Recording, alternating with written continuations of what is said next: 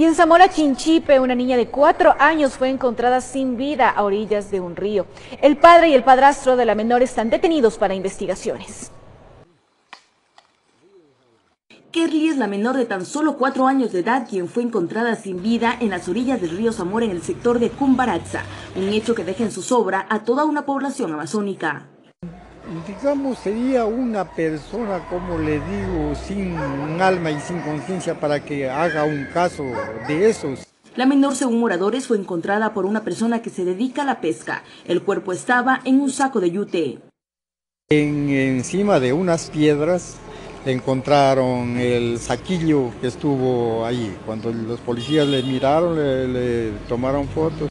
No pueden entender los familiares esta terrible noticia. La pequeña que era tranquila y que apenas empezaba a vivir.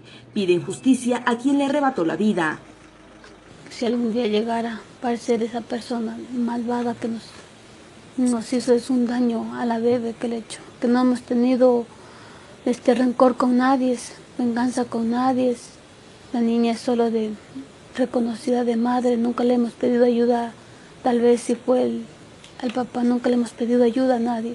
Dos personas están detenidas para investigaciones, el padre de la menor y su padrastro. Se sospecha del padre biológico y del padrastro, pero eh, como digo, esos son sospechas.